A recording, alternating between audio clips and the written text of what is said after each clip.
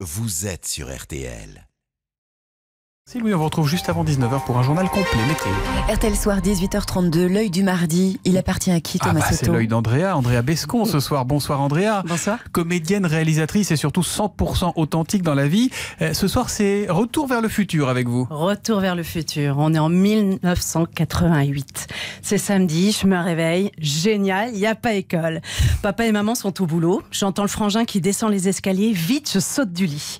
Il y a du soleil dans la cuisine. Maman a déjà préparé le plateau. Elle a laissé un mot. Bonjour mes chéris. Le petit déjeuner est prêt. Surtout, ne mangez pas dans le salon. Faites bien vos devoirs et ne regardez pas trop la télé. Je vous aime, maman.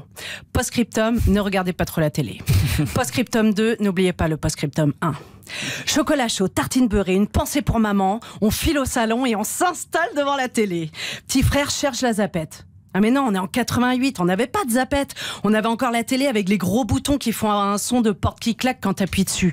Bouton carré, clac Puis bouton rectangle, clac Récré à deux ou c'était peut-être déjà le club Dorothée. En fait, on s'en fout, on est heureux. L'épisode de Dragon Ball a déjà commencé. Vous connaissez Dragon Ball Mmh, bien sûr. mais il y avait un personnage incroyable, il s'appelait Tortue Génial. On lui pardonnait toutes les agressions sexuelles qu'il infligeait aux petites filles parce que c'était un vieux monsieur et qu'il était talentueux. Un petit peu comme Polanski, par exemple. Bon, bah ça, les, des, des petits qui prennent des petits déj euh, devant des dessins animés ou qui subissent des pervers avec ou sans talent en 2019, ça existe encore. Mais, mais notre génération, on a eu de la chance. Parce que le meilleur moment, c'était juste après. Quand les adultes qui avaient gardé leur âme d'enfant prenaient le contrôle de l'émission.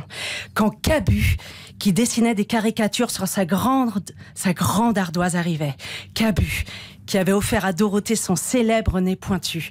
Cabu, assassiné pour son amour des caricatures 27 ans plus tard. Horrible 2015. Mais en 1988, on était encore loin de tout ça. Débarquaient Ariane, Jackie, Corbier et Dorothée. Cela n'avait ni peur d'être trop fou, ni peur de trop rigoler. Ils chantaient, faisaient des sketchs, se déguisaient. Ils ont appris à des centaines de milliers de petits que nous étions qu'il y avait aussi des adultes qui ne se prenaient pas au sérieux qui n'avaient pas peur du ridicule ni de l'absurde, des adultes qui aimaient les rires des plus petits. Alors mercredi dernier, jour des enfants, quand j'ai appris votre décès, chère Ariane Carletti, j'ai réalisé que c'était sans doute ça, grandir, devenir adulte, vieillir.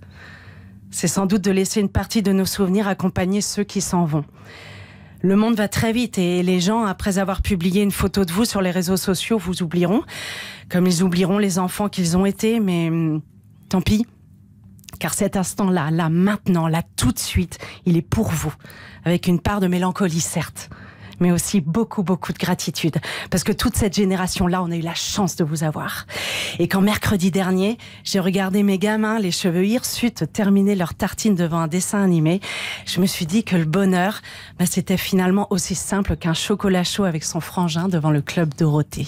Quel bel hommage. Vous arrivez à m'émouvoir toutes les semaines, ça va pas pouvoir durer. hein. Mais si, revenez quand même mardi prochain, Andrea Bescon. Vivement le mardi grâce à vous, vivement le mercredi aussi, puisque demain, ce sera l'œil amusé et, et très impertinent de Philippe Cavrivière. Merci Andrea, à la semaine Merci prochaine. Thomas. RTL Soir, il est 18h35. hein. Le 11 septembre 2001, il était dans les tours jumelles quand les deux avions ont percuté le World Trade Center. 18 ans plus tard, comment vit-il avec ce souvenir? Bruno Délinger est mon invité tout de suite en direct dans RTL Soir. Thomas Soto, RTL Soir.